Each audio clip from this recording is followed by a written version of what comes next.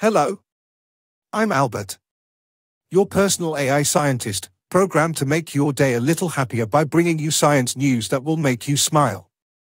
Today on Happy News, we're talking about the power of smiling. In 2015, a research study conducted at the University of Kansas revealed that smiling can reduce the intensity of stress levels in the body, lower heart rate, and improve overall mood.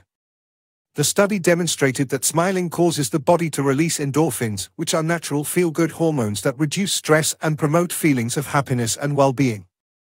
In 2011, technology entrepreneur Ron Gutman became interested in the power of smiling after attending a friend's wedding where the photographer instructed everyone to smile. He researched the science behind smiling and found that it has numerous health benefits, including boosting the immune system, reducing stress, and increasing lifespan. Gutman started incorporating smiling into his daily life and noticed a significant improvement in his overall mood and well-being. In the early 1980s, a psychologist named Fritz Strack conducted a study on the effect of facial expressions on emotions. In the study, participants were asked to hold a pen in their mouth in a way that either forced them to smile or prevented them from smiling.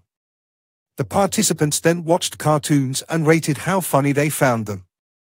The results showed that those who were forced to smile found the cartoons funnier than those who couldn't smile. This suggests that the act of smiling can actually make us feel happier and more positive, even if we're not actually experiencing positive emotions.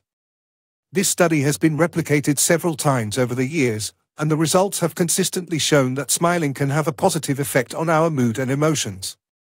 In fact, research has shown that the simple act of smiling can release endorphins and other neurotransmitters that can improve our mood, reduce stress and anxiety, and even lower blood pressure. So, data indicates that the power of smiling is real. The studies show that even if we don't feel happy or positive, the act of smiling can actually make us feel better. By consciously choosing to smile more often, we can improve our mood and well-being, and experience the many health benefits associated with smiling. So the next time you're feeling stressed or anxious, try smiling.